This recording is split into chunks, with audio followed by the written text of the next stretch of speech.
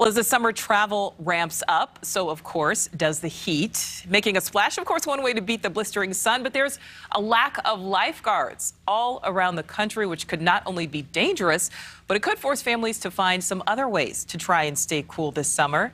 NewsNation's Paul Gerke is live tonight at Manhattan's Gramercy Park. So, Paul, what does this nationwide shortage mean? Nichole, it might mean a lot more closed pools like the one behind me. Memorial Day is supposed to mark the start of summer and pool season for a lot of us around the country. But beating the heat now might not be as simple as heading out to your local aquatic center because a national lifeguard shortage is sinking some places' plans to open.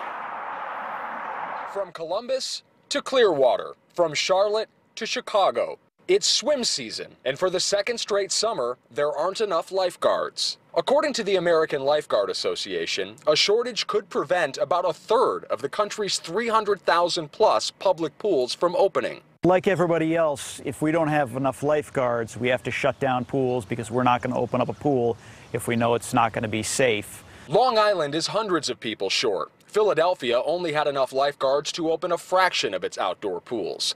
Just three of 12 public beaches in Minneapolis were guarded last year. It's a safety concern and a big time bummer. I know when I was a kid, I enjoyed getting out there to those, you know, splash zone type places. So that'd be disappointing unable to go to those just because of a shortage on lifeguards. The cause behind the shortage is multi-pronged. The pandemic is surely a factor. So is the job market. Other companies now are coming in that are that are paying more money to these 16, 17, 18 year olds. I mean, you know, you got to compete with Amazon and Target and Chick-fil-A. There also just isn't as much help as usual. The war in Ukraine has had an impact on the J-1 visa program. Not as many young people are coming over from Europe to work summer jobs. I know a lot of kids they come over for the experience of the U.S. and hopefully, you know, in years to come, they'll be able to take advantage of that situation. But for this year, it's, uh, you know, they, they've got to take care of themselves. That's priority number one.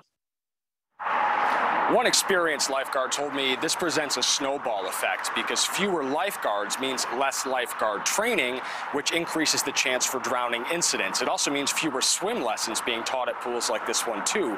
Interestingly, some people are presenting a silver solution to this problem, Nichole, as in silver hair. Senior citizens, retirees looking for something to do this summer that might have some relevant experience and be able to help out. Yeah, maybe not a bad idea because, Paul, I know it is hot today there in New York City. All right, thank you.